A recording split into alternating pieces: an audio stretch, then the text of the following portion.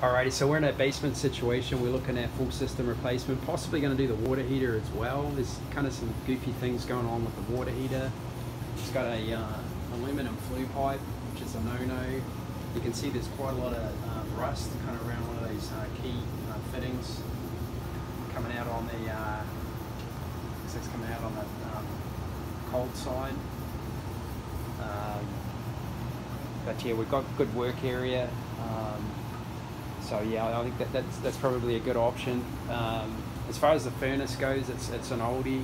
We've got good height. So I got the measure from uh, floor to the underside of the supply trunks and everything looks like it's sized good. Um, drains close by. See the shut off for the gas, electrics in a conduit. Line set's running up and over and then it's running over um, garage um, to the unit outside.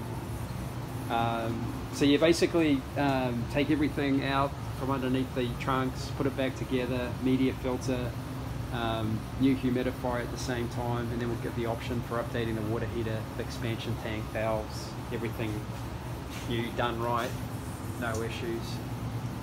Um, and then I'm going to walk outside for the access. Um, it is a walkout, so we need some floor coverings down for the flooring and then we can uh, transition through. That's the garage door. I'm going to pop out there in a moment and I'll have a look at the electric panel. But yeah, just floor coverings through, come and go through the garage.